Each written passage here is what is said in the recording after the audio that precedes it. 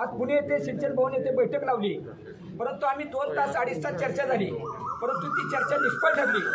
या बाबतीत पालकमंत्र्यांना आणि उपमुख्यमंत्री अजितदादा पवारांना मी आव्हान करतो की सोलापूर जिल्ह्यातल्या पोटातलं पाणी तुम्ही एक थेंबसुद्धा नेण्याचा प्रयत्न केला.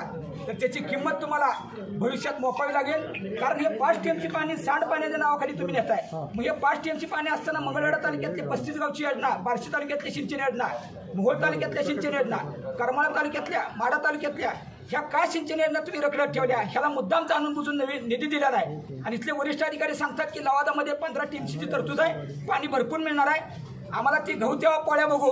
आता सध्या या उजनी धरणाचं एक थेंबही पाणी आम्ही इंदापूरला जाऊ देणार नाही. वेळ प्रसंगी आम्ही रक्त सांडू.